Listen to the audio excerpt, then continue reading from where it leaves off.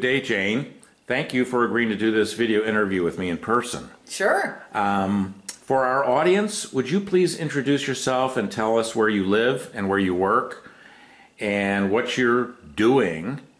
Uh, and perhaps then uh, some of the more interesting things you've worked on in your career and how you came to be where you are right now today. It's a long story, I'm sure, but please share that with us. Uh, I'm Jane Bozarth, and we're coming at you live today from Durham, North Carolina. Um, I have a degree in English, which at the time everyone said was a terrible, terrible idea. All my friends were majoring in business, and now they are all bored and tired of whatever it is they ended up doing, and I've had this great, fun life. Uh, I was hired years ago because of the English degree with state government to be a literacy tutor. We had a number, I was at a hospital for developmentally disabled adults, and we had a number of staff, they had a number of staff who over the years had become healthcare technicians, and suddenly the state decided one day that these people needed to pass written tests to do their jobs. Written mm-hmm. multiple choice exams, and there was no reading it to them, there was, there was no way around it. I think the rationale somewhere deep, deep down had to do with their needing to make notes Mm. about clients and about treatment plans and what have you. But over the years, they had all sort of worked this out amongst themselves to how the work would get done and the notes would get written. But the state, mm-hmm. the state being what the state can be sometimes, decided everyone had to take these written exams. So I was hired to do that to get these people up to up to proficiency in reading enough sufficient they could pass the test. And I did that for a while, and then the state kind of lost interest. But about the same time the state was losing interest, our supervisory training coordinator quit. And suddenly I was a supervisory training co- uh-huh. coordinator all of a sudden. And I think that's how a lot of people end up in this work is that mm-hmm. something happens or you're, you're good at presenting and so suddenly you're a trainer. So suddenly I was in that role. Um, she had been a very academic minded, lecture oriented, expert presenter type. Mm-hmm. And I didn't like any of the stuff she left behind. So I, I figured the only way to do it better was to learn more about instructional design. We had an office subscription to Training Magazine back when Ron Zemke was there. I think we probably got what was in what ASTD's always called it T and D, haven't they? That's their magazine. Right. So I had, I had those kind of resources. We had a library full of um, design books, and I suddenly don't remember the name. There was people who who did an annual every year. Uh, there were lecturettes, and there were games, and there was experiential learning activities that came out every year in an annual and a big three ring binder. And after today, I'll remember the name of those. Yes, I, I, And we had a wall full of those. So I, I sort of learned by the seat of my pants. I sort of learned as as it evolved just by by what was what I, what I was able to get my hands on, what I was able to read, because this was pre-internet. Um, and there was really nobody else in the office who was interested in the way I was. A lot of them did technical training like first aid, which is very scripted and very controlled, or they were nurses who were doing nursing care kinds of stuff. So I was the only one interested in this, and it was sort of seat of the pants. And eventually I found my way to a, um, a group of state government trainers who had assembled with the the uh, the the mission, their self-developed mission was to stamp out crappy training. They ended up being the, the unit of interest in my dissertation years years later. So between the community and self-study, I ended up learning more about design, learning more about making classroom training more interesting and engaging, uh, learning more about how to focus more on performance and active learning and not so much on people taking notes and passing written tests. So, so my interest evolved there. Also, I found a lot of the training that I was being sent to was just terribly boring and seemed to have no point, and I wasn't going to be able to apply anything back at work. So I, I was sort of trial by fire in a lot of ways. Am I giving you the answers you want? yes. so where so where did you go from that All right. particular job? So um, I eventually kind of outgrew that job. You know, they, they, they had standard curriculum they wanted delivered. We had a huge churn. Uh, we always had new people. Our new hire orientation classes, we had 1,600 staff, and new hire orientation every month was 30 or 40 people, every single month. Mostly at the lower classes, you know, the lower job Entry classes, like, level. like trade people, uh, the healthcare tech, some nursing staff. Uh, we had three local hospitals, state hospitals, and they sort of were on a trolley between the 3 hospitals all the time. So uh, the, between the churn and the, the realization this was all I was ever really going to be able to do there, um, I, I did look for something else. And at the time, the training director of the North Carolina Justice Department job came open. And uh, that was going to mean a commute to Raleigh, which I was going to have to learn to, to live with. But um, but it was it was going to be more of a director role. They did not have a training program, so it was a chance to go in and create what I wanted and put in what I wanted and, and sort of get it from the ground up, which is wonderful. And I found out that's the way to have a job is when you can create it. And I had a manager who was very concerned about that deficit and he really was on fire to get a trainer in. He wanted somebody who understood curriculum. He wanted somebody who knew how to build stuff. He wanted, uh, we were going to be working with, with law enforcement, with the SBI, with the justice academies, with the attorneys and the paralegals at the main justice office. So he wanted somebody who could hold their own with that kind of audience. Yeah. And so you need somebody that's not going to be timid and easily sort of cowed by that. And I was I was a very good fit for that job, as you can imagine. Um, and so I was able to sort of create, well, uh, to create this program from the ground up, starting with onboarding and the supervisory stuff that I didn't really get to do as I was outgrowing the old job. And one day in a performance review, he said, This is state government, and I don't have any money for raises this year. He said, But I can get you graduate work. If you want to go to graduate school, we have money for academic assistance. And he said, Does that interest you? Would you like to pursue any of that? And so, yeah.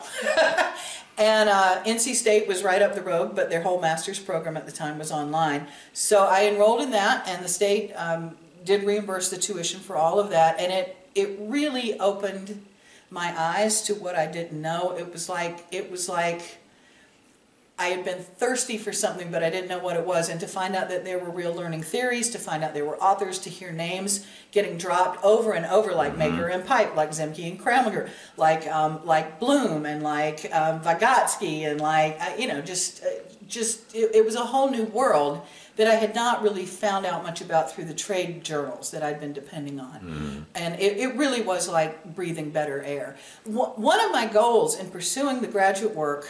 Um, was that I had left this little training department where everybody was a trainer and everybody kind of spoke the same lingo. But when I went to justice, I was in an HR office and I was the only one. And I could tell sometimes when I would talk, I had three heads. so I partly wanted to be able to better articulate mm-hmm. what I was saying about, well, we don't just want it to be fun. We don't just want to play games. There's a re- I, I wasn't good at explaining that where I didn't really have to do it in my old job. So I found that the, the master's degree was very helpful in helping me become more articulate about my practice, more intentional about my practice, being able to justify decisions and doing things that I want to do, and being able to push back. Mm-hmm. When somebody was insisting we go do an awareness presentation on harassment for the 10,000th time, I could say, well, let's take, let's take a look at what's really going on. Why do we, what, what's going on and why do we need this? And what problems do we really need to fix? Mm-hmm. So the, the nature of the Justice Department is that it is helmed by the, uh, the Attorney General. And the Attorney General, as often as not, ends up running for governor. And when the Attorney General becomes governor, then most of the executive staff and the senior staff would go with him. So I had been working in the Easley administration, um, and when he was elected governor, Roy Cooper came in. Most of the people I had worked for and with at the, at the senior levels left and went with Easley, either directly to the governor's office or they became agency secretaries. The boss who hired me became the state personnel director. And I was very happy working um, in the Cooper administration. I had, had good management there, that, and they liked me, and we all got along. But I was back in the place of feeling like I was kind of where I was ever going to get with that. You know, I was the, the attorneys and the the the, um, the SBI and law enforcement. It was a smaller organization than I had been in at the hospital, and I just kind of felt like it was leveling out for me there. However, the other thing that was going on was that my master's degree, as I said, was all online, and that was my introduction to e-learning. Mm-hmm. At the time, they had like a homemade portal sort of site. I think it was called Wolfware or Wolf Locker or Wolf something. Mm-hmm. But it was basically just scrolling pages of text with an occasional image. It was really nothing like we have now. It was just just scrolling web pages. But the possibilities for that, I thought, were just remarkable. I saw that it was going to get better, but I had, for instance, the, the state of North Carolina has employees in 100 counties, uh, especially with law enforcement and places like that. We had people literally driving from Asheville and sleeping in hotels so that they could take EEO, like I said, harassment training Yeah. or to sign some sort of benefit forms or to, you know, just sit through that. It was just ridiculous, the, the amount of travel and inconvenience sometimes uh, that, that we were encountering because of dragging people to training that really, I don't even know if, if it's appropriate to call it training. Or we had people on shifts. Um, for, for whatever reason, I saw e-learning as a, as a real solution to a lot of, a practical solution to a lot of our problems. I don't know that I thought the training itself was gonna get made better just because we put it online, but I saw that we could deliver it right away. People didn't have to wait a month till the class was offered. We didn't have to haul them, you know, to, uh, to overnight, which is inconvenient and expensive, um, just, just for them to sit through a presentation by the safety officer or what have you. So that was also on my mind. But we didn't really need um, a lot of it because of the scale situation with justice. We didn't have a thousand employees, Right. and and um, you know you can't always justify the time and, and effort and money spent in creating online from scratch. But we did need that at the state level. So just about that time that all of these things were happening, the, the governor had changed over and I was kind of outgrowing the job and I'd gotten interested in e-learning. The state central training office is housed under the Office of State Personnel, which is now the State Human Resources. Um, they were getting interested in e-learning and so there was a real opportunity again for me to go create a job, yay. and so I was able to do that and I went there in 2003. Okay. So, um, we had some off-the-shelf courses. We had done interaction management through Development Dimensions International for years. They had just started putting some courses online. So we bought, bought into the contract for that. Um, and we did very well initially offering uh, some blended, where they would do a good deal of the pre-work and watch the videos and stuff online. And then if we did have to bring people to Raleigh, it was just for a day instead of six trips, or it was just a couple times instead of um, overnight three and four times. And that, that worked really well for us because they were getting, it was a good program. I thought IM was pretty good. They were getting good, good qual, high quality first experiences with e-learning. And then they were getting real practice with real people and it, it worked very well. And we were say, I did the money cost on that back in the, when I was working on the masters. And I want to think it was a, a difference of maybe a thousand dollars a learner to not to not make them come to Raleigh over and over. I don't. I'd have to go look it up now. Um, so about that time, I was wrapping up the master's degree, and and I had no budget. I had no money. I had no money. I was learning Dreamweaver on my own. I was learning some graphics work on my own. Um, we didn't have products yet like Articulate or Captivate. I think I had a colleague who may have been using Authorware back in the day, but may have had access to that. Um, so I was I was looking for inexpensive ways of getting information out to the masses, things that I could use. Uh, online survey materials, online game materials, online web creating tools. I think blogs had just been introduced, that kind of thing. And so I wrote my master's thesis on when you should use e-learning and how to do it with a minimum budget. Mm-hmm. Okay. I went to Training Magazine the year after I wrote the, the thesis, and I did a presentation on cheap e-learning. This was would have been 2003, maybe 2003 Okay. or four. There was an editor from Pfeiffer in the audience who approached me afterward and said, "We we need this. We need a book." Mm-hmm. And so that is where the first book came from. And now Pfeiffer, the, they've lost that imprint. It's just Wiley now, and so all the books are there. So I wrote e-learning solutions on a shoestring based on what I had done with my master's work, and that got published, and that kind of changed my my positioning in the world. Because back then, everybody wasn't online. Everybody didn't have a blog. Right. Everybody we didn't have we didn't have no Facebook. we didn't mm-hmm. have all these social tools. So you know, it was a it was a smaller pond than it is now. To have a to have a book published and be a state employee was a it was a pretty big deal. Um, and things really, as you know, accelerated after that. So you were the state e-learning coordinator that while you were doing this. This is the new job that you created. I was a state e-learning coordinator from 2003 until 2017. okay. And when we created that job, we didn't even know what it meant. It was just Jane understands. Yeah. Jane understands some stuff on the web. We'll let her just, and you know, I kind of rode that my whole time there. That's just, they never knew what I was talking about. they never Mm-hmm. But they empowered But you they and let you fine. do They were your like, thing. What, whatever, you know. Mm-hmm. It was easier just to say yes to whatever I had going on. So, um, you know, it's funny. People, there's there's this reputation that the state is so backward, or that there's so much bureaucracy, or so many rules. Mm-hmm. I could generally do pretty much whatever I wanted. The money was always the challenge. Right. You know, we just never had.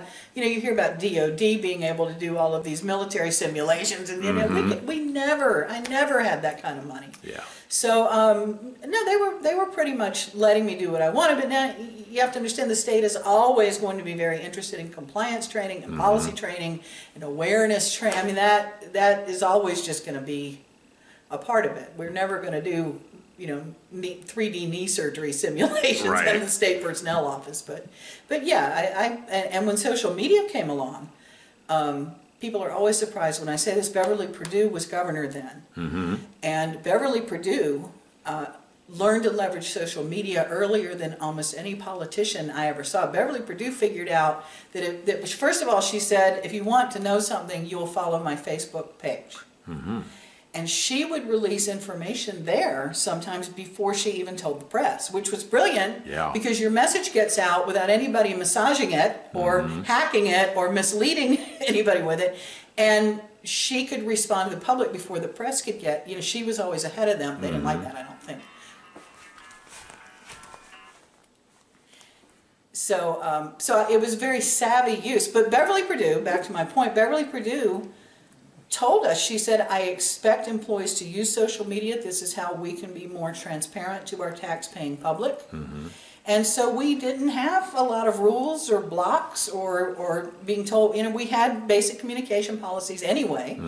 Uh, but, but we had very much open reign to do what we wanted to do. So I never had handcuffs. And I think that people always think that government is so tough on that kind of thing, but she's right. You know, it did make us more, uh, more transparent. So it, it was fine. So my interest went from classroom to e-learning to more facilitated e-learning. About 2000, early 2000-ish, I met Jennifer Hofmann, who at the time was inventing the idea of virtual classroom training with web. I think the product we were using then was Elluminate with an E. Elluminate. WebEx came along.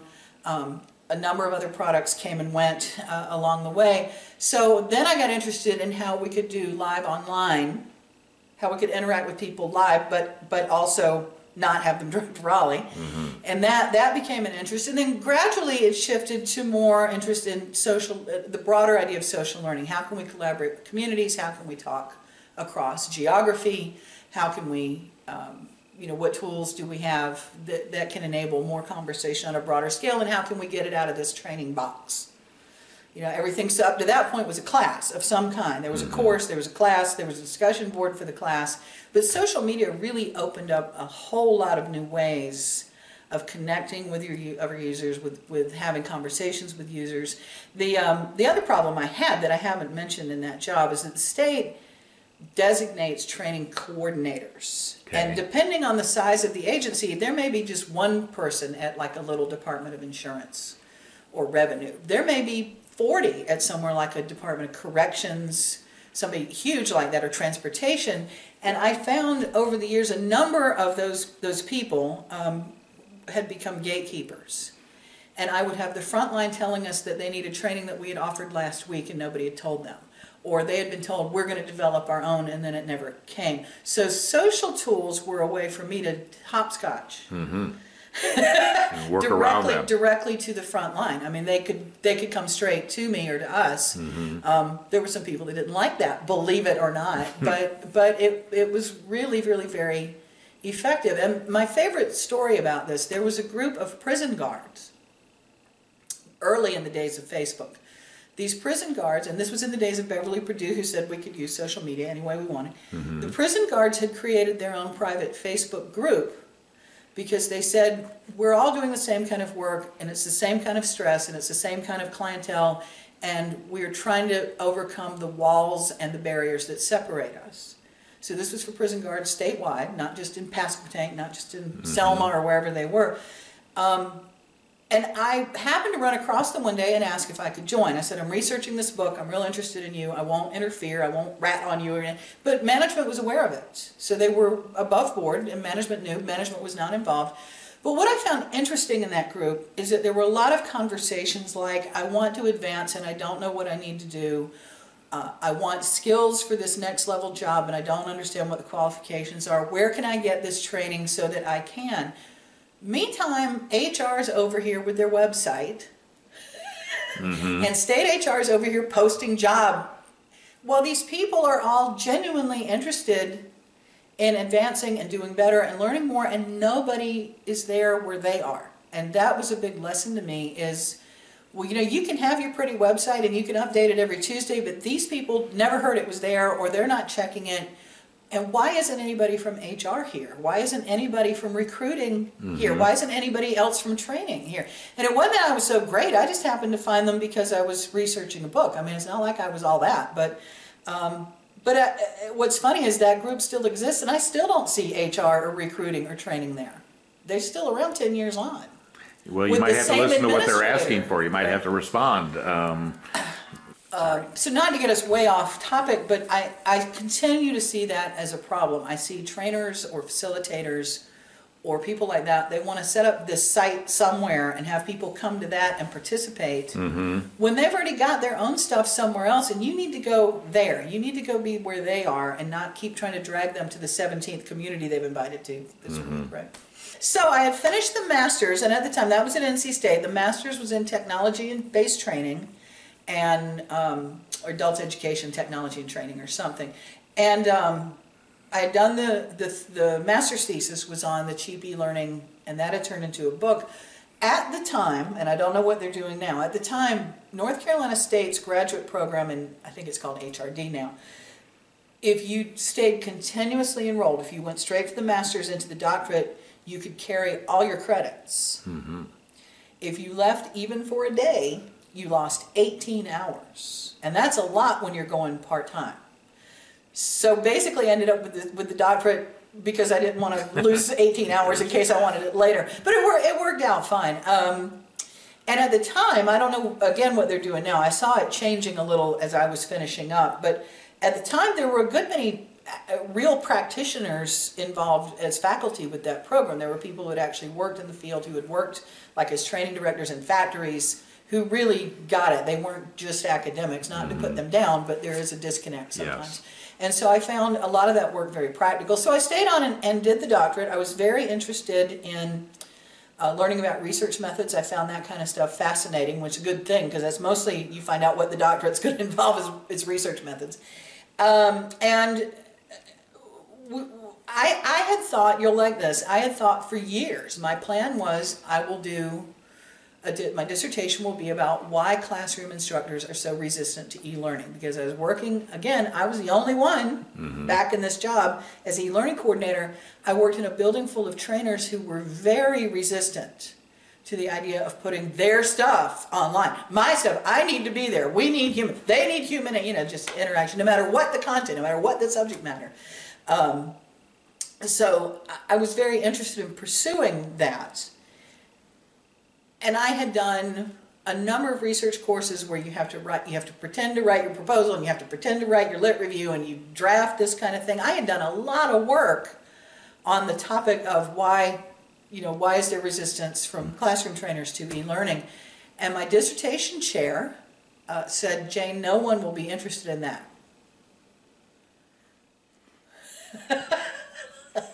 well, guess what she was, right? Classroom trainer. Didn't want her stuff online.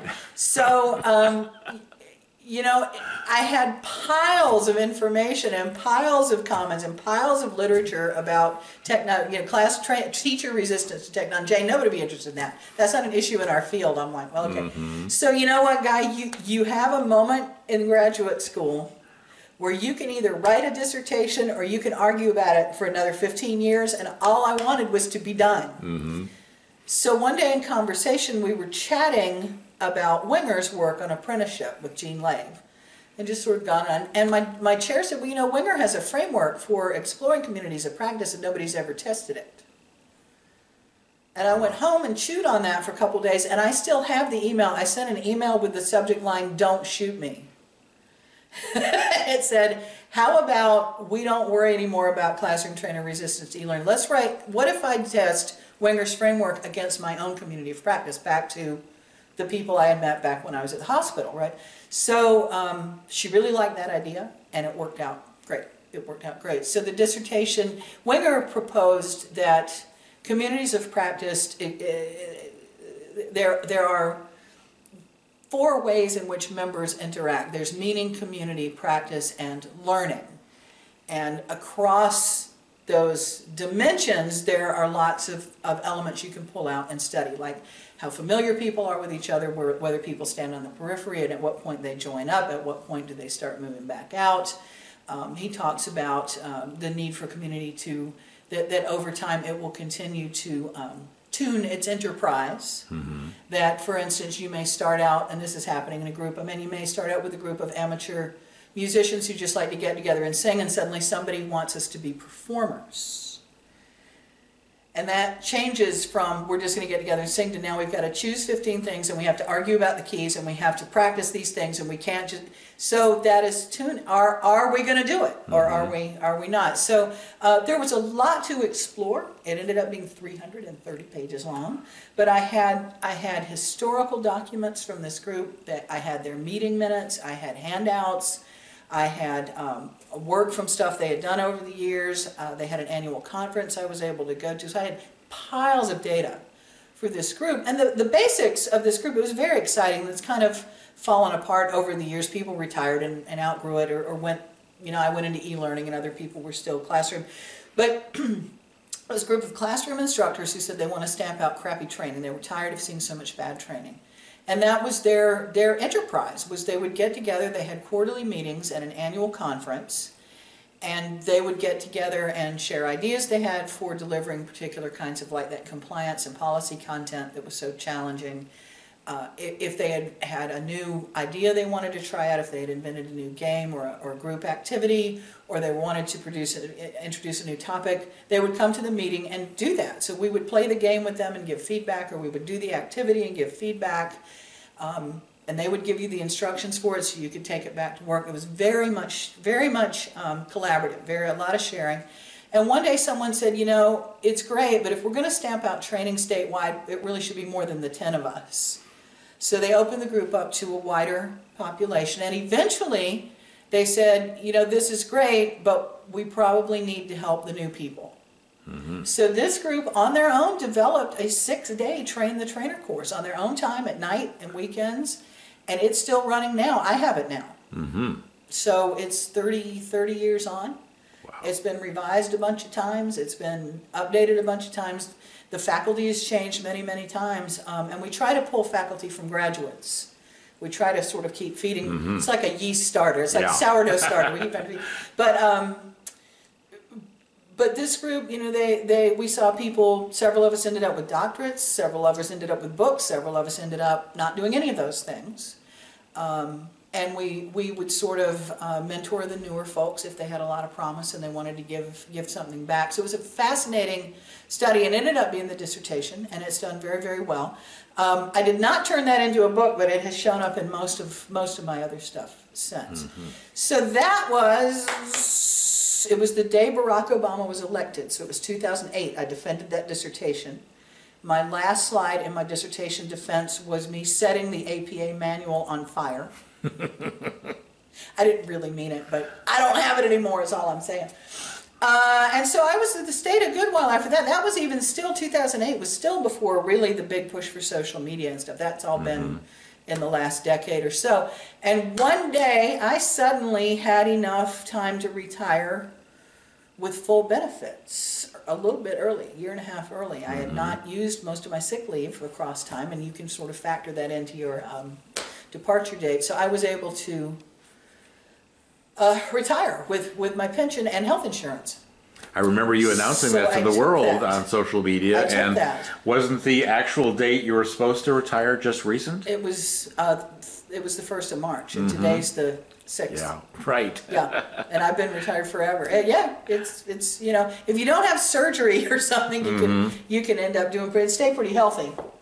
Um, I, I was lucky in that regard, but um, just about the time I was planning to, I knew that this was going to be happening. I'd not announced it yet, but I I let it be known around the community that I was probably going to be a free agent, and I wasn't necessarily looking for full time.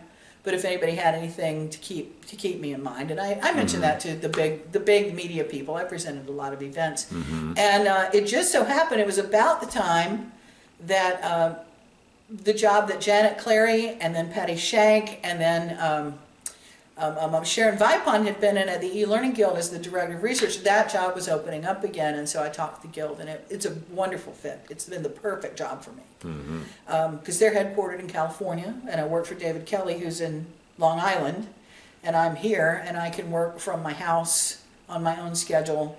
And my job is mostly to produce a research report a month and present things at their conferences that we've been working on with the research thing. So it's great. Sometimes we do a member survey, sometimes we do a lit review. Sometimes this month I'm doing interviews with people who have some expertise. Uh, and it's very flexible scheduling. It's just been it's been perfect for me, and I learn something new every day. It's great. It's great. Excellent. Yeah. So, so that's how you got to where you are today. That seemed like a very long story. I guess. Well, it took me 25 years, I, yeah, no, I love it. This, this is exactly what I was looking for. and. I'm only 32. I mean, Okay. the dog is bored.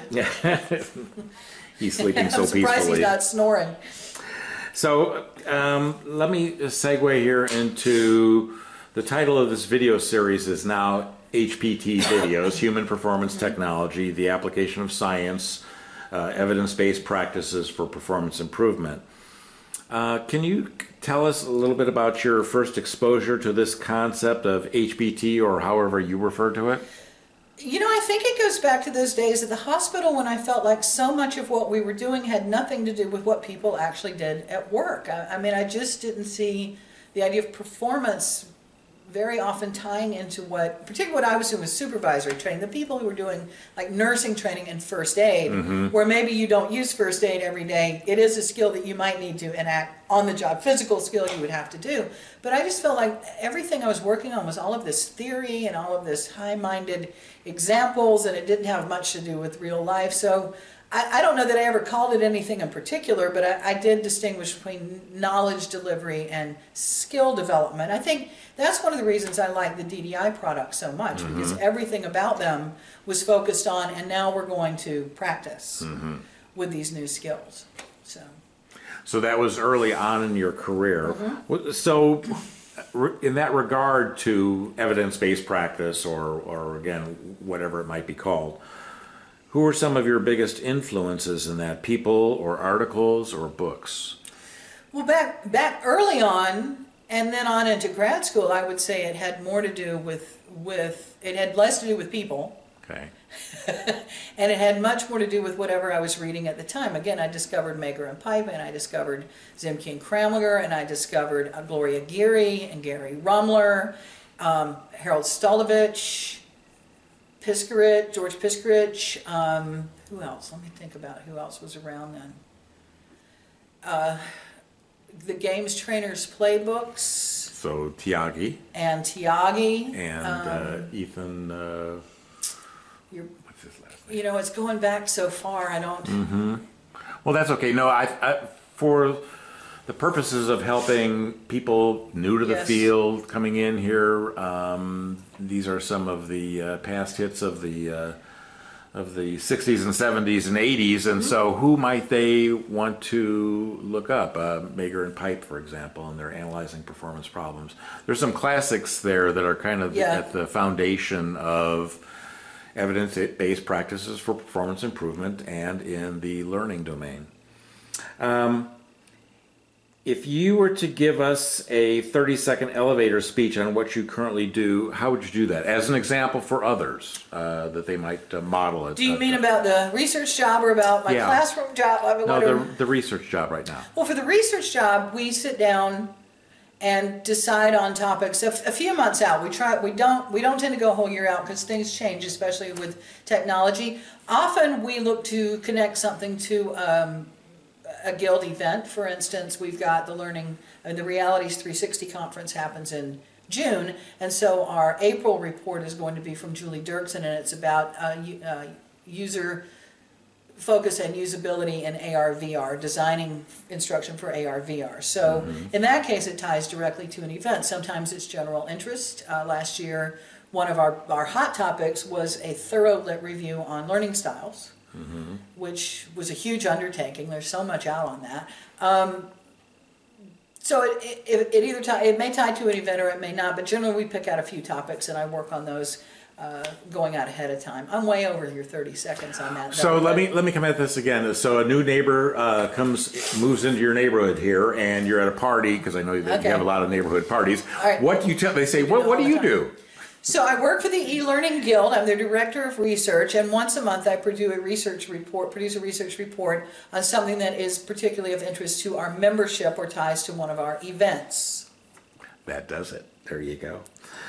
Um, I want to talk about uh, you as a lifelong learner Yep. and what's your current because of your job. You're that directs a lot of uh, what you're looking at and learning from. But uh, is there a current or next focus for your learning? Are you working on learning uh, or writing anything now that you can share with us? And I, I guess it goes back to the current job, but is there something outside of that? Or I guess what you're doing in the current job here, the research that you're exploring? Well, you know, sometimes with the current job, it's something I know something about or that I'm interested in. Like right now, the, the new report next month will be on accessibility in e-learning, and that's all. That's been a concern of mine for 20 years.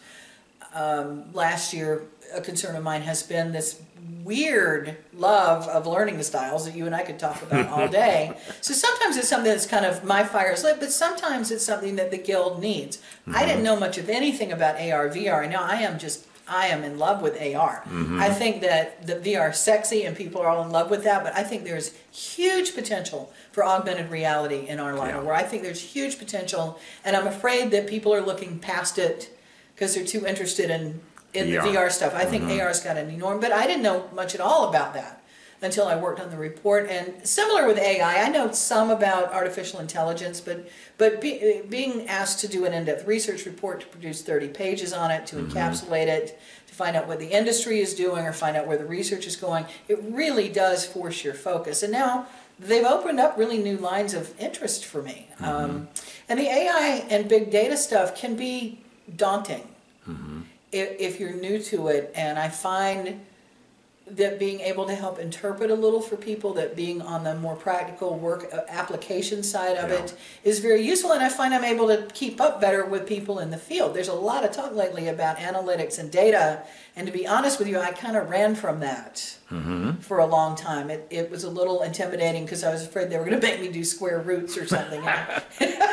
but uh, but now I, I you know I feel like I, I have a, a a decent understanding of it. I can hold my own in most conversations, mm-hmm. and so that's that's helped a lot. As far as lifelong learning, this I let this slip on Twitter the other day. I'm not opposed to doing another master's degree Okay. someday. I'd, I'd kind of like to maybe pursue cognitive psychology, maybe not mm-hmm. neuroscience, but but more of the, the science of learning than I've had. In the, you know, I had a lot of instructional design in the mm-hmm. past, less on the cognitive, the psychology side of it. I, I, I could see doing a master's sometime, maybe. We'll see. What I love about uh, a lot of your writing, uh, your nuts and bolts approach to things, are, are making things practical Mm-hmm. for the practitioners out in the field, and you're not writing for theorists and academics. Um, so that'll be interesting to see where you Yeah. where you take all of that. Um, you know, I, I worry that our field's got an awful lot of theorists and academics in it and not people who've had actual jobs. And sometimes it's funny, sometimes someone will let something slip on like Twitter and it exposes them completely. I'm like, you never did, you never actually worked anywhere with other people, did you? Um, um, you yeah, know. you've never been asked by your father to hold a flashlight and get yelled at Get for yelled pointing at, for the right it. thing. Like, yeah, you, you never, you never really did this. Yeah. And, and it's funny that they'll tip their hand every now and again. But uh, we got a, a lot of people who I think probably need to go have a job for a couple of years before they write anything. anything. Well, we do we do need our theorists and the Mm-hmm. people who are thinking beyond you know the limits of today, and but then at some point they've got to get real. Um, I It's don't know that I call people- them. I don't know that I call them theorists either, guy. They just Yeah. seem to be bloviating about stuff, Well, and yeah. they, they just seem to not have jobs. I think they just don't have jobs. I don't have a job. I'll be a consultant now. Maybe consultant's the word I'm looking for. Hey, guy, you're a consultant, aren't you? I'm yes, sorry. well, yes. Sorry. I've been Yeah. known to do but that. you have had jobs. I've, I've, I know, Yeah, so I've I- known you when you worked at a job. Yeah, and uh, you know, that, I think that making things real, whether and consultants have to, you know, it depends on what kind of consulting you're doing. If you're there to advise somebody, it's one thing, but if you're there to get a job done for them, if you're their hired pair of hands, and that, then you you have to make it real. Yeah. So um, It's funny. I remember in grad school, and we've had this conversation on Twitter this week. I, I don't remember what prompted me, but I asked people if they felt that their graduate work had been worthwhile. And almost, literally, all but one person said yes. Every single one said something about, yes, it was worth my time. Yes, I got a lot out of it. Um, I, re- I remember uh, several of them also said it was better that I had worked a while and then went back. I had done this Yeah. for 10 years. I remember in grad school, my master's program in particular, I had been in the business, you know, almost a decade, I guess, by then, close to it. And, you know, I knew kind of how the real world worked when you mm-hmm. talked about organizational training and development. And there were these kids who had come straight out of undergrad school into this master's program who'd never been to a class, they'd never mm-hmm. been to training. Yeah. They had been to lots Right. of classes but never to training and they would and they've got these academics teaching them and they would say things like well we'll get but we'll just have management come to every orientation we'll just have the ceo come to orientation every month and welcome everybody they would all look Yeah. Mm-hmm. know, like yeah good luck good luck good luck the, and the ceo is going to love that idea one time Yeah. Okay, let's go back to your early days in this world of evidence-based practices Okay. for performance improvement in the learning and development world.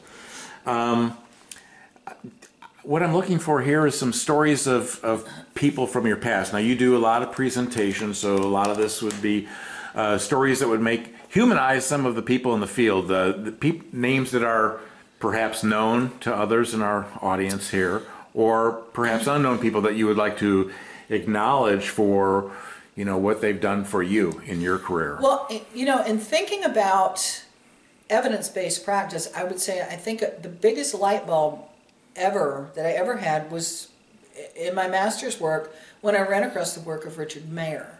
okay. Uh, Mayer had his his designs of multi, his principles of multimedia learning, and I ran into that at a time when I was trying to explain why it was a bad idea, but I wasn't really sure why, except that's what I thought. Why we didn't want to narrate every word of every e-learning program we did. Why we didn't want dancing cats mm-hmm. for interest on every. So he that was a real not just an eye opener, but it was finally the validation that I was looking for, but also the, the language I needed to explain no, the, no, we don't want to narrate every word. Let's talk about this. People hear and read at different speeds. And when you're narrating every word, they're not really getting either. And then everybody would go, oh, she's right. Oh, we get that. And, you know, the answer, the obvious answer, the simple answer was just let's just have audio they could turn on or off. And that way it's there or not. Um, but that was a real eye opener to me and gave me the words I needed and gave me credibility. I mean, the guy was for real, and here's his article, and here's 25 pages on this, and here's 17 articles on that, and here's a book, and and then also Sweller and Nguyen and uh, Ruth Clark were doing work along the same lines, and, and Mayer led me to that. He was working with, I believe, a woman named Moreno, and they, bless their hearts, were putting a lot of their stuff online. It wasn't all locked up in a in a, you know in a journal which because i was in grad school i could get to Right. but even back then not everything was electronic yet so you know because we barely had electricity um, and so i was able to actually you know throw out here here's real evidence and here's real real practice um, again, it was kind of before the age of social media when, when I was getting to be really aware of evidence-based practice. I was doing some consulting work with uh, the national, gosh, what were they called? It was a National Board of Corrections, but it was primarily associated with prisons and parole. And uh, a woman I worked with there is a woman named Sue Yaras, and she had a doctorate, and she introduced me to the evidence-based practice in the corrections field and I saw that she was able to convince them that we didn't just need a bunch of talking heads reading presentations to people all day, that we needed actual hands on work, that people mm-hmm. needed real practice. She was able to sway the oldest of old school HR administrator types who really just wanted somebody to read slides. She was, I watched her able to move the needle on that, and I thought that was pretty impressive given, gi- given her stakeholders. So I paid attention when she would talk about evidence, and I would pay attention to the, now that was evidence mostly out of the corrections community. And I don't, I'm not very fluent in it anymore, but it was very useful at the time, and it helped me understand that you could do that. That you needed to develop, how to, how to develop credibility, how to develop the language you needed. Um, and that helped a whole lot, so. Who else uh, would you like to recognize here? I know you deal with lots and lots of people, so it's almost unfair to ask you to. It is select unfair. To ask if you to tell some stories on a few people, but uh, in your trips to Europe, and I, uh, I think I saw you, you know, you go out to dinner with a lot of these folks, and uh, what are some of the more interesting tidbits that you can tell about them that won't uh, offend them? I find, I don't know, I was a little surprised by this. I find Jane Hart to be remarkably stable and consistent and persistent. And she has been around a good long while with your friend Clark and and all of them, the Internet Time Alliance people.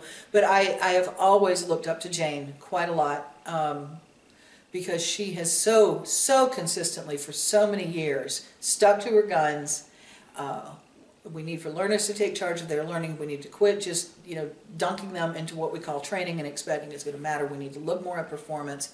But she has she has uh, you know swung fists at that for as long as I can remember. I mean, I, I think she's mentioned in my first book, and that was 2004 probably.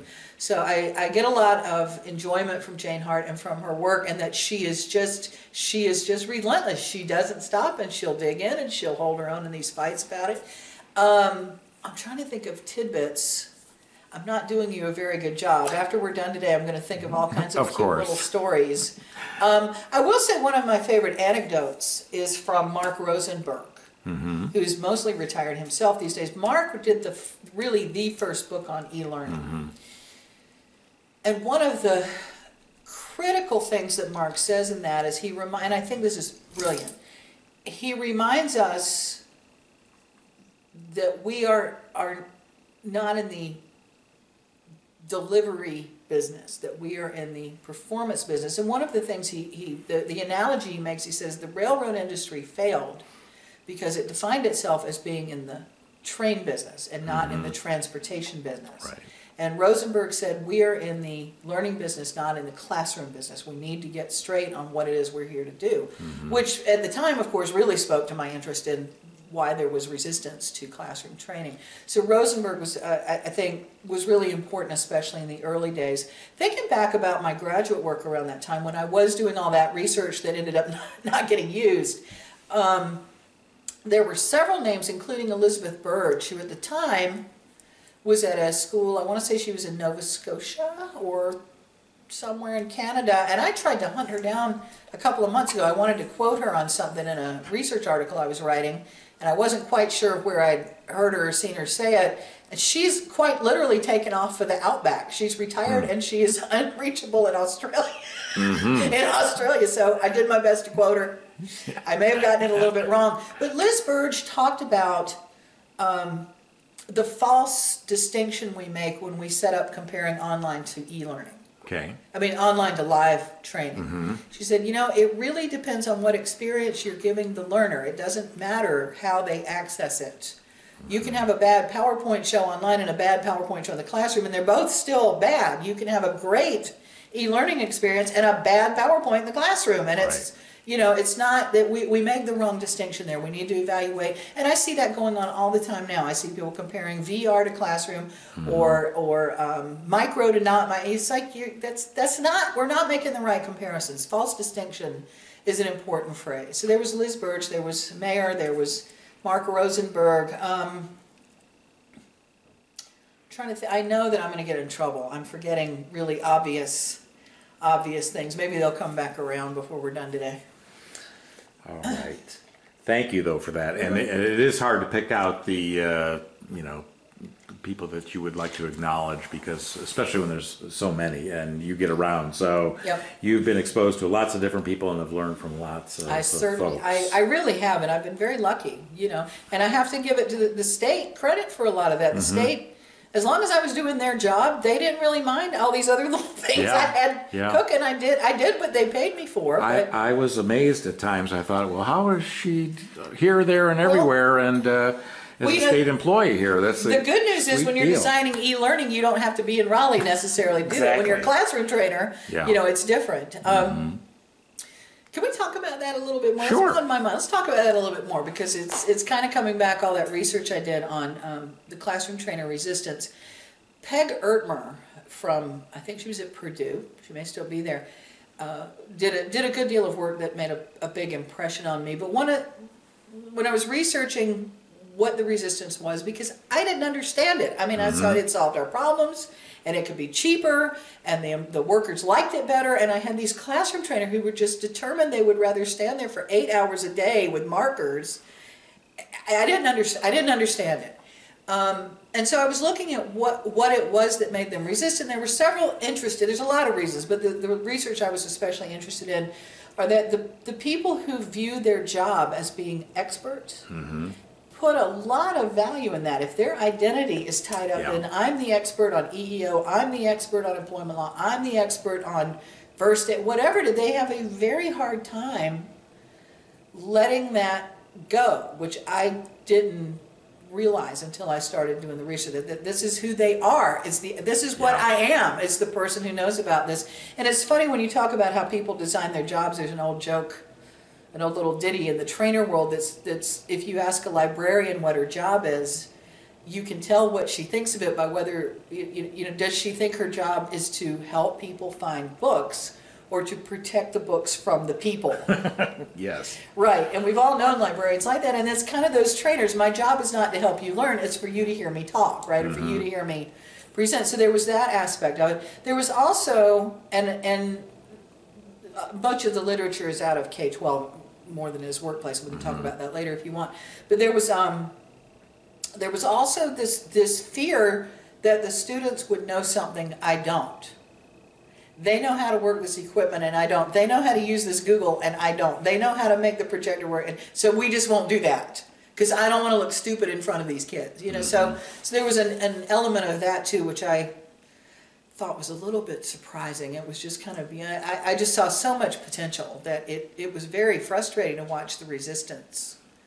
To You it. Wouldn't, fact, you wouldn't quite be the expert if you didn't Right. know everything But that I, I will that. say this, um, the program that was the prime, the, the, the primary project I was supposed to do for state government in two thousand three is still not done. Hmm. Because of resistance from the classroom instructors associated with it. It is Mm-hmm. still, it is twenty nineteen and they just have never, they just quit, they just quit asking, they just quit Mm-hmm. trying. Management just let it go. Yeah. it's amazing, but yeah, but I never did the one thing that they brought me to do. But I did a lot of other stuff, so well, It all should work out. yeah, I mentioned this uh, before we started because I wanted to make sure you were okay with this. I've got a couple of questions on uh, topics of perhaps controversy. Okay, oh so, uh, talk to us a little bit about your stance on best practices. Why you seem to be opposed Um, to best practices, or perhaps you're not. I don't know that I'm opposed. I just think that that it's fine to be aware of what other people are doing. It's fine to be aware of the way you might go about something. I think it is probably a mistake to assume that because something works well here that it's going to work equally well for you. For one thing, and I had a friend who said we were at a meeting one day talking about this, and a friend of mine said that is like saying the things that work in my marriage will work in your marriage. So it's very individualized. It's according to the context and the people involved. Um, Dil- Dilbert had a great cartoon once where Dilbert is saying, well, you know, if everybody's doing it, then best practices is just mediocre. Right. And the pointy-haired boss says, stop giving, stop making mediocrity sound like a bad thing, mediocrity sound like a bad thing. Um, but but the other problem you have when you start talking about best practices, and you see this across many, many elements, is not just with best practices, is is the problem with um, fidelity. Is that okay? There's a best practice here, and so we're going to take it, but we don't have this guy, and we don't have that scooter, and we don't have that projector. So we're going to. So by the time it's they try to adapt it, it's not that practice anymore. It's Right. something else.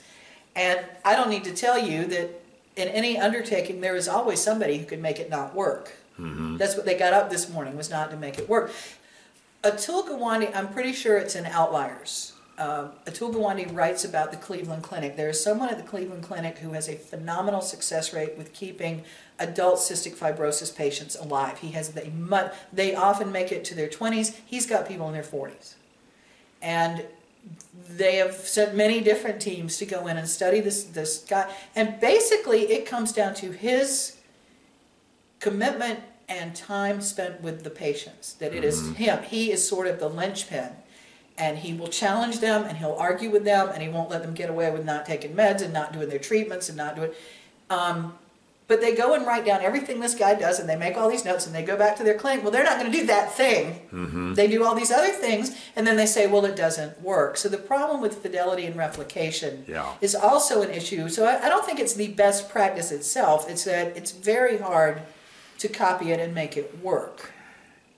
True, you um, can't retrofit something. I think that was one of the things that the Japanese would joke about when Americans came over to in, to look at Japanese quality and quality improvement approaches, and they would laugh because America Americans came over and thought, oh, they just take some notes, see that, and they go back and replicate it, and they couldn't because the context was different, different enough. Right. So it's really the, the this concept of the wholesale adoption of a best practice, Yes. which is ridiculous. The other thing I see, it's an, and I don't remember where I first heard this phrase, but I, somebody one day described, you remember when I talked about the gatekeepers in state mm-hmm. government, the people that kind of kept stuff from happening? Somebody said that what she was a specialist in was resistance by delay. she will always say, "Oh, well, we're going to work on that, but first we need to do. Oh, well, we want to make that perfect, so we'll just." And nothing ever got done Yeah. in the name of we're going to do something better just any day now, and nothing ever happened. And I see that sometimes with we, we say we want to study best practices when it's often really we don't know what to do, so we're just going to spend time pretending that we're doing pretending that we're doing this thing, and we're never actually going to do it. We're just going to spend spend time. So sometimes I feel like it's a delay tactic. Euan Semple uh, who wrote uh, organizations don't tweet, people do. He's a really fun guy. He's on Twitter. He's, he's fun to engage with. He's a really smart guy. Worked for BBC for years, and now he does consulting with the UN and stuff. He's really he's really quite he's entertaining and he's very smart. But he said people need to quit wanting more case study porn and just get on with it. yeah. And I, you know, I see that people who, who just won't do anything. Do you have a case study? Do you have a case study? Do you have a case study? Is there a best practice? Can we, it's like, dude, you go be the case study. Quit Yeah. waiting for, Study for every. You go, you go be a case. Well, you know, just do something. So yeah. Experiment and Yeah. uh, And I, so I see, that's a long answer, but I, I don't know that it's the concept of best practice I object to, it's just I see people not, not getting very far with them. Mm-hmm. So, thank you for that. yeah. The next area of uh, perhaps controversy is your take on ROI, return on investment. Well, I will tell you, there's no such thing as ROI of training, but the training people will beat me about the head and neck about that. I think that people who talk about ROI very often misunderstand or they grossly underestimate their ability to isolate the effects of training from everything else. Mm-hmm. If you've got too many forklift, you got 50 forklift accidents and it's costing a million dollars, and somebody decides that's too much, you can implement forklift safety training. Too many people are running into things. People don't look when they back up. People are ignoring that. You can you can fix that. And at the end of a year, you can say, okay, this year we only had 22 forklift accidents, and it only cost half a million dollars, and we have our here is our ROI. Um, again, to quote Dilbert, one time the pointy-haired boss said they had set their safety goals for the for the year, and they had to hurt six people to meet it.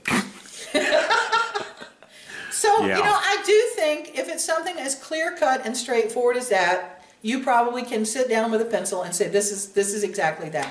I think it is different, as in the case of a class I took years and years ago. Um, you assert that you're going to measure the ROI of ethics training for law enforcement officers. I think if you had 10 years to devote to assessing that, you probably could track back number of lawsuits, cost of lawsuits, cost of the media by. I think maybe eventually you could, I think it would be very hard to say that you're going to get X dollar ROI from a topic like that. So I, it, it's just very, very hard to isolate. The same thing happens. Gawande, who I guess I need to give more credit to because I keep mentioning his name, Gawande talks about that in reference to hand washing training. A hospital has um, a problem with staph infections, they implement hand washing training, but they also put in hand wash stations, they also put in sanitizer um, bottles all over the place. They put stickers on doors of especially infec- infectious patients. It's very hard to say the training solved Right. twenty-five dollars of that, Yeah. Right? And I think that's where people make their mistakes. I think that they tout ROI as the perfect end-all, easy to calculate solution, when very often it's not. I do think that we need to do a better job of stepping up when training has made at least some of the difference, or or claiming what training owns of this solution. But the other part of the story with Gawande, as I recall, is it turned out the real big factor in reduction of the staph infections. Um, what was happening was that they, they implemented the same solution across the hospital, and one particular unit saw a sudden decrease in staph infections, but nobody else. Or they, they didn't see the dramatic change. And it turned out there was one nurse who was willing to block a doctor and say, You go wash your hands you know, or the janitor who knew that something was being disposed of in the wrong way. It often wasn't any of the things, any of the things mm-hmm. that were really part of this intended solution. So, so anyway, I know it's an unpopular opinion, but I just think it's not as clear cut to, to just walk around saying ROI, ROI, calculate it, calculate it. And I will say that some of the people I know who tout ROI the hardest and the loudest do not work in the world. You know, they, they don't have jobs. They aren't in the situations where there are other humans. This does look very clinical and easy on paper. Right. But you go work in the hospital where you're not on the shift where that nurse is blocking the doctor. You know, it's it, it's Too many it- variables. Again, back to back to context, back to too many variables, and back to it's hard to isolate the effects of training in many, not all, but in Mm-hmm. many situations. I would say all the talk about leadership and supervisory training would also Mm-hmm. fall Yeah. under a lot of that.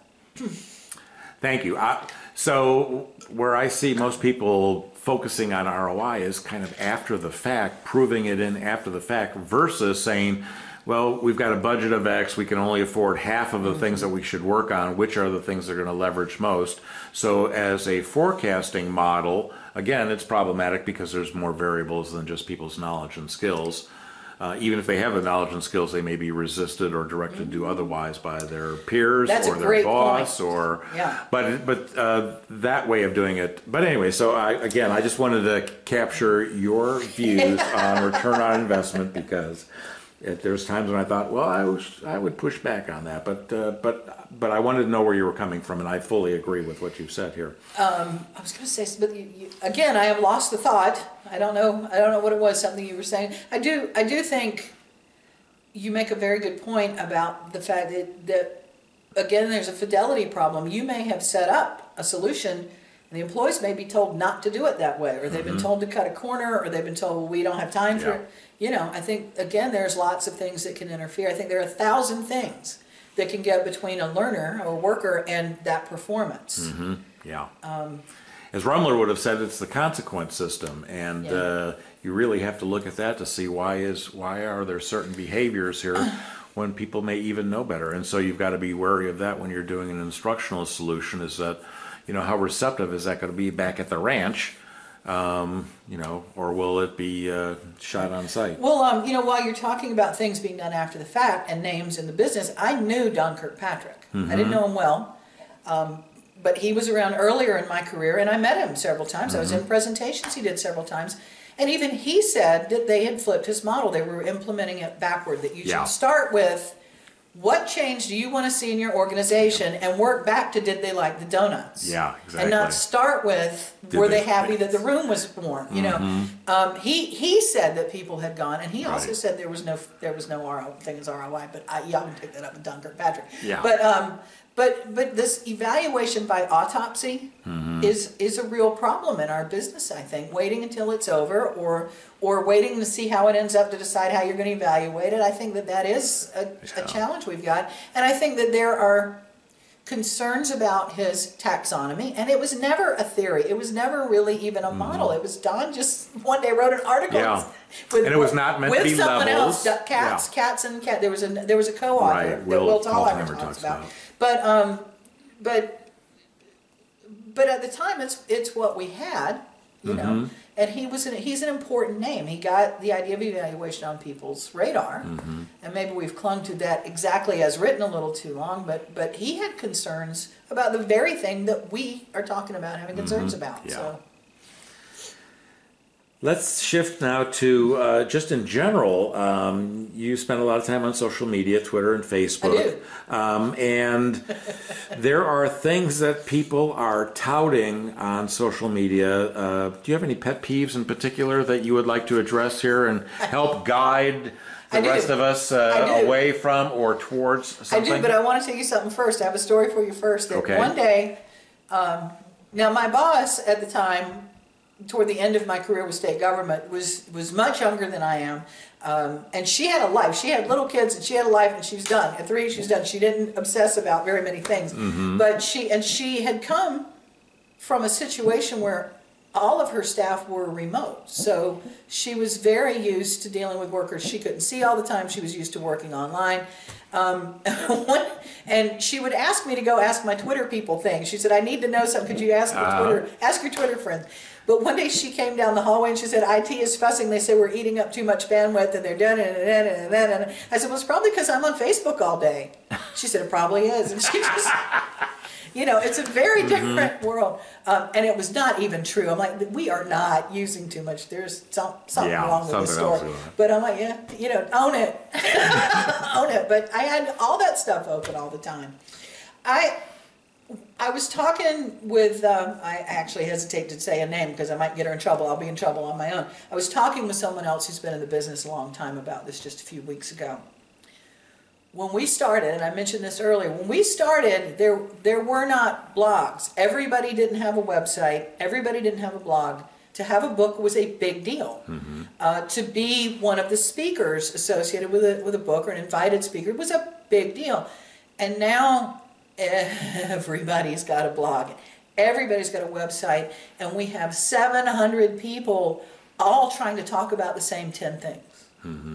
And everybody's trying to say something new, and none of it really is. And everybody's trying to create new content, and everybody's in a scramble. And I, I understand it. Um, we seem to have a lot of people just trying to get a foothold to get themselves known or get their names out there who haven't done much else. I don't know what else to say about it, but they don't they haven't written very much in detail or they haven't introduced anything much new or that they just seem to be repeating what we've already heard. It's just very hard and I, I think it is hard to get new ideas. Um, and I think we have also already said a lot of stuff. But but some of my pet peeves are people who um, who who just seem to be trying to stick their foot in the door. It's kind of like the Bible salesman Yeah. that you've heard about, but they aren't adding much. Um, I have people who use the term PLN, PLN, PLN. I'm like, but you don't bring anything. I don't learn anything from you. You haven't said anything. I didn't know. And, you know, you're copying 25 people into this conversation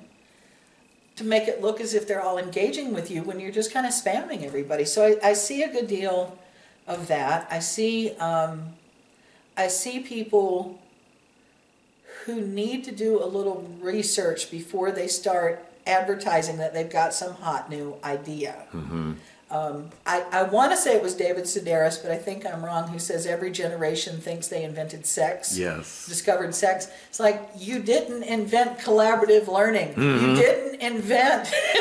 you didn't. You did not invent workflow learning. You did Yeah. invent performance support. This is not new. And and they they don't understand. and they complain that they're not getting more uptake or they don't get invited to speak or or something. And they're complaining out loud about this stuff. I'm like, well, you need to find a new twist or a new take or a new um, format or a new process or you know something. But but you sound a little silly when you're acting like you just thought this up this morning. It's like, really?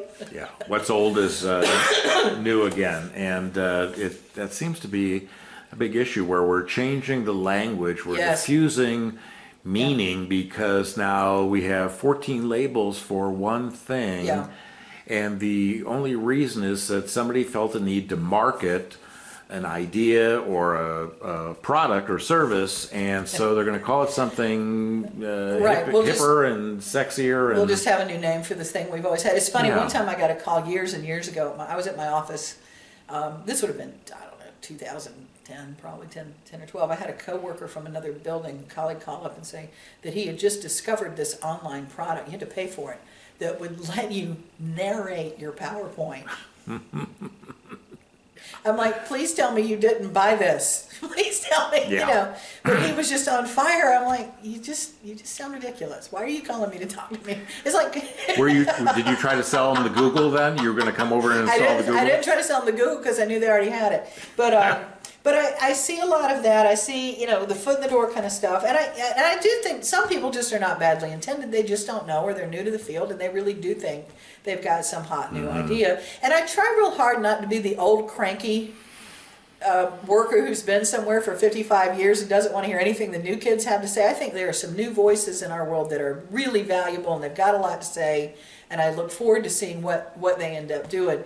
Um, but I do feel like a lot of it is just people needing to trying to generate content, Yeah. and they just don't know We've, they've got the platform. They where need to start. something to say. Um, so and and some of them, to back to my point, they probably need to get jobs for a while. They need to go work in the Mm-hmm. in a workplace with other people and do training. I think classroom training can be invaluable. Mm-hmm. Um, for a person who's never done any of that, I think you learn a whole lot about your audience. You Yeah. learn a whole lot about how to engage adults. You learn a lot about how to um, talk in, at different levels in different formats or say the same thing in different ways. Uh, I think there's a lot to be said for being in a training in, a, in an organization that does that, even just for a little while. Um, let me uh, shift to the one last uh, social media tool out there. Uh, LinkedIn. I've heard you say before that you don't, you don't LinkedIn. get it. I don't get LinkedIn, but Okay. other people don't get Twitter, and I've had to accept that. Um, I think partly with LinkedIn is that for all of my years of everything, I have never needed to look for a job online, um, including my current one. I and I am not in a position where I am trying to uh, to generate to, to do business development. I'm not in marketing. I'm not trying. I don't need a million contacts from all walks of life. You know, there's a really certain kind of niche group that's going to buy my books, that's going to invite me to speak at their things, um, and so I it just isn't terribly personally relevant to me, but I would go on there and I'm like, well, it's like Facebook without any fun, and it's just a bunch of people. It reminds me of going to. There are certain training organizations that have chapter meetings. I won't mention them, but there are some, mm-hmm. more than one. There's not just one. And sometimes I go to these meetings and all I see are people handing each other's business cards around Yeah. and they don't again it's like twitter live with these people not offering anything new and they don't have anything new to say. And they and what was always interesting for me was they hate state government and the taxpayers don't want anybody to have a job except if i had one for them. They were Yeah. very interested if i had any work for them. And then they will complain about how hard it is to work for government. Um, uh, so i think partly and it's a good example of something when it's just not very relevant to you or not of use to you that it, you don't really get why other people like it so much and people there are a lot of people i finally had to understand are never going to like twitter ever Right. um, but you know about the social media in, in general i was in a situation virtually my whole life where i was the only one interested in whatever it was i was doing Yeah. at the time particularly when e-learning and social learning uh, social media based kind of stuff came along. Nobody in my work world was interested in that. Nobody in my immediate office environment. Nobody in state government that i ever knew about. So social media was a way for me to finally have people I could interact with who really wanted to talk about what I wanted to talk about, who were trying to do the things I was trying to do, who had some experience I could learn from. Um, when I wasn't getting that at all from my peers, I was working with classroom trainers and they were fine, but they wanted to talk about which marker smelled better. and how to do two truths and a lie icebreakers, and Mm-hmm. all that's great, and they were good at that, but it was no longer of any interest at all to me. Yeah. So if it hadn't been for social media, particularly Twitter back then, I, you know, I, I don't know how I would have managed. It, it really was where my community was. And mm-hmm. the thing I especially liked about Twitter was that I could go online anytime, day or night, and somebody was talking about something that I didn't even know I wanted to talk about. Mm-hmm. Somebody was talking about something interesting, or they had, had written something interesting, where I wasn't finding that from LinkedIn. Mm-hmm. And I wouldn't say I was getting that from Facebook. Facebook's something different for me, but Twitter I have always found um, very energizing and very interesting and very exciting, and I just wasn't finding that other places. And I'll be honest with you, when Snapchat showed up, I'm like, oh, another Yeah. here's another one. And I've tried really hard, but I I like Snapchat and I use Snapchat. I don't see for all of the, the stuff you hear, the, the naysaying and the sky is falling stuff you heard from about other tools, I really do not see Snapchat getting much uptake in the workplace anytime soon. Mm-hmm. So it hasn't been the first thing I've spent my time learning about, but I do like it. So you know, I, I it's more I don't I don't get it when I look at LinkedIn, and then I have all these people tell me they don't get it either, but yet they feel like they have to post stuff there mm-hmm. so it'll get seen. Right. So um, now I will say LinkedIn is doing really interesting stuff with learning. You know, mm-hmm. since they took lynda.com, they've got SlideShare. It'll be interesting to see how that evolves. Mm-hmm. What do you think about LinkedIn? Well, I, I think it is a place for more marketing your idea, products and services, um, and um, it, it's a different tool. the The conversations there are a little bit different there, but uh, uh, I'm both equally on Twitter and on LinkedIn. Um, but I'm, and my network on LinkedIn is a little bit different than the people on Twitter. And because you're not capped by the amount, you know, so people can go on longer and, uh, but you know, you, you can link to th- uh, other things elsewhere. The people are writing articles and posting them via LinkedIn. And so it, it's just a little bit different. I, there's a lot of redundancy and overlap uh, between them, Yes. but um, I, I don't know. Well, one thing that I see, speaking of redundancy and overlap, um, and it concerns me a little bit, and I think I see this more on LinkedIn than other places, and it may just be because I'm not looking on Facebook for this kind of thing. I am I'm concerned about the number of of, link, of LinkedIn groups that people seem to have started intentionally to talk about the same thing that 7,000 other LinkedIn groups are talking Yes. about because I want to be in charge of one. I want to be the mm-hmm. one in, and that's back to what we were saying earlier about these people who are trying to get a foothold. It, it there's something about I'm I'm going to build this private community so we can talk about Yeah. tearing down silos Yeah, let, us, let me build a silo. that, that nags at me a, a little bit. That it's like, you know, you keep saying we all need to be collaborative and learning and social, so we're going to go set up yet one more space. We got to go talk about that. I, I, I see some people. It, it's evident back to what I was saying about my research that people have this identity of I'm going to be the expert and the leader right. rather than a contributor. We can stop. That's the the bat phone for my mother-in-law. Can you talk to us a little bit about the um, areas of research that you would like the Learning Guild to go for, but perhaps aren't on your uh, plate currently? You know, they've been open to whatever I've suggested, and sometimes we, you know, tie things to an event that's coming up. Like Julie Dirksen is doing a. Uh, the the April report will be about designing for AR VR, and then our June event is the Realities Conference in San Jose.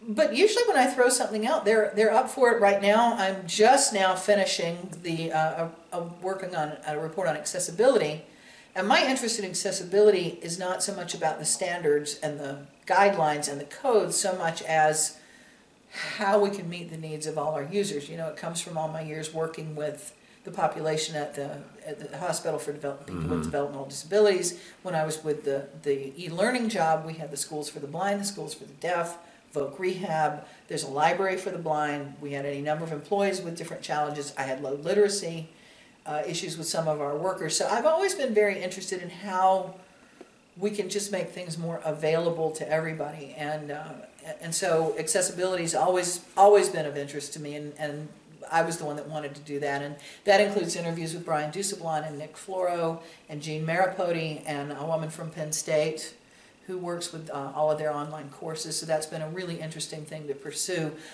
I wanted to do learning styles. I don't know who said it first, but I think I might have been the one to say it first. I would like to do a lit review on personality types. Yes. And I think that I will. Um, I will say when I did the, the report on learning styles, can I talk about this a little? Sure. I don't have kids. You know, you and I have talked about learning styles for a long time. I don't have kids. I had no idea the foothold that the stuff about learning styles has in the K-12 world. I had no idea how ingrained it is down to the kindergarten level.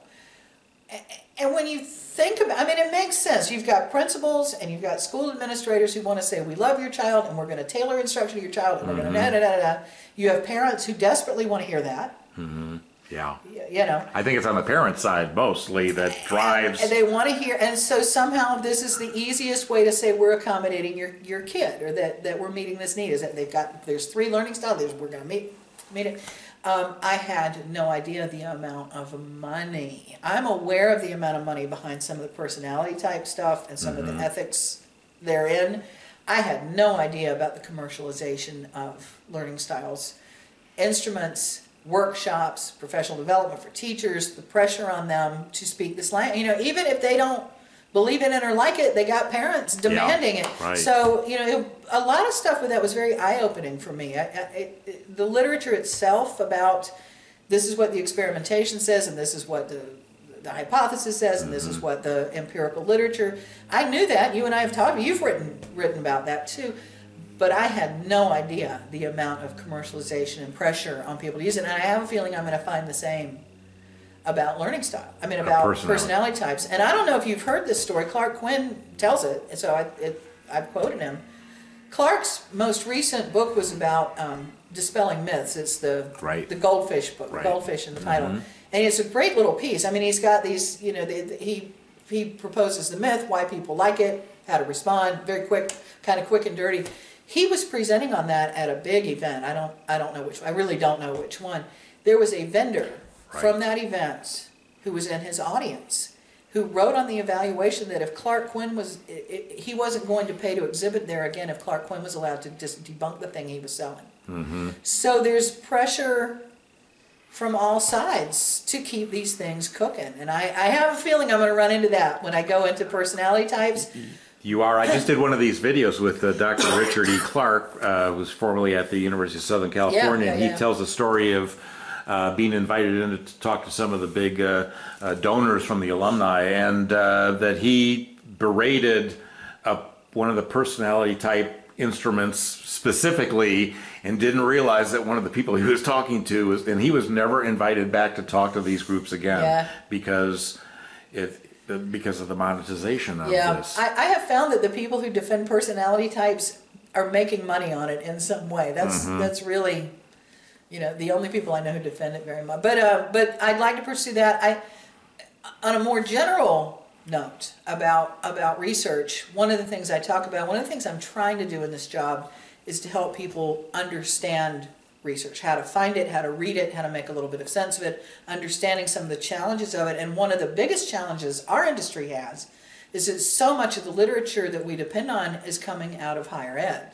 right that more often than not, the people doing anything in the way of experimentation, any kind of experimental research, they're using college undergraduates. It's the convenience sample, yeah and I don't blame them, or, or it's student teachers, somebody like that. Um, I don't know that a 20 year old college sophomore is it is a good representation of a 40 year old factory worker. I don't know. Mm-hmm. I would like to see more experimental literature coming out of the, the adult work world, but the problems with that are enormous. You know, organizations don't want to let you in, their people have to be at work.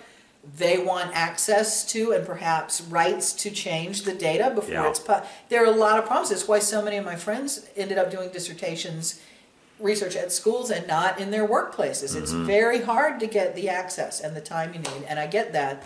But I, I, I wish we could find a little bit more or, or see a little bit more research from um, workplace and not just so many from um, from college. You know, the college kid's job is to go to school.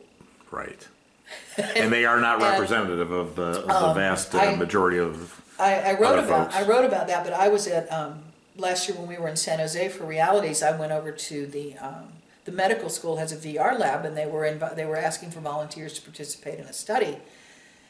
Now this involved I was doing this just sort of as a field trip from work. I mean, I need I was getting it was fine for me to go do this, but it was basically when all was said and done, a half a day to drive over to Stanford to park the car to get into da da da da da da da to do this thing to get, and they gave me eight dollars in a T-shirt for my payment for this. A college sophomore will take that and Yeah. think it's a really, you know, you can't get many adults to spend half a day to drive to a big college campus because it's a VR lab. They can't bring it to you. You've got to go Right. there. Um, so it's it's uh, it's interesting um, when you think about where, what incentives there are. Uh, thinking about people that you know they have the same problem recruiting people for um, medical for studies yes, you know, figuring out how that they can get it to rural populations, figuring out how it can, you know, scaling it, so right? scaling it that way. So, um, so I, I don't know that I have topics in particular in mind, but when we start talking about things like the effectiveness of VR for firefighters or the effectiveness of AR for insurance inspectors, Mm-hmm. I'd like to work with some actual firefighters or VR or insurance inspectors, Right. and that's just harder to do. So you're going to be doing one research study per month? Mostly that's what I've been doing. Okay. Yeah, we have a topic a month. That's a, that seems like uh, you're going to go through the wor- our world quickly, um, you know, a year or two. I don't, I don't know, they've been doing this for ten years. So, but at that, at that pace, I'm not, Yeah. I'm not, I'm just. have not Yeah, well, there's, there's traditionally been a salary survey. Okay, oh, sure, okay. Um, and there are always emerging topics. There's, Mm-hmm. we probably need to, you know, things in the, in our world, especially the e-learning guilds world change. It's probably time soon to look at gamification, games again, Yeah. gamification again. It's gonna be time to look at micro-learning soon. It's probably gonna be time to, um, to take a look at, um, ecosystems. Okay. We had a big hit last year with um, learning platforms. There's a shift now from just the LMS to other things, and that's going to evolve pretty quickly. Yeah. So stuff stuff changes. Yeah. yeah. Um, the lit reviews probably won't. No, we probably don't need to do learning styles again for a while. But some of the other the other topics we do. I You may think need that- to hit on that learning styles every quarter or two. uh, Yeah, but it's just saying this. The big study Yeah. on learning styles was done in 2004, and nobody's listening. Um, Yeah. So uh, Ellen Wagner is going to be doing something on learning engineering for us. I think that's that's Mm-hmm. a topic we're going to see get more conversation. I think we need more people who can interpret the language around big data and anal- analytics. So we'll probably, you know, so there's always Mm-hmm. Yeah, cool. stuff. I'm looking, I'm looking forward to s- yeah, learning. yeah. So, as a kind of a wrap to our interview here, do you have any parting words of wisdom or guidance for our audience, particularly people new to the field, uh, related to all things learning and performance improvement? What would your guidance be for them? I have one thing to say. I say it a lot.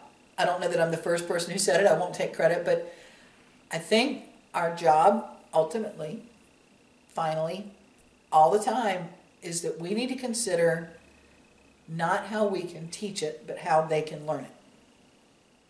And what they need to do with it once they do learn it. So, you know, that that is where I think our focus needs to be. Okay. Yeah. Thank you so much for doing this interview. Sure. I'm going to say, for those of you who picked up on the nose rubbing, apparently we finally have pollen in Durham, North Carolina, and I'm sorry. Spring is here. Spring is here. Yay! Spring has sprung. Thank you. Uh-huh.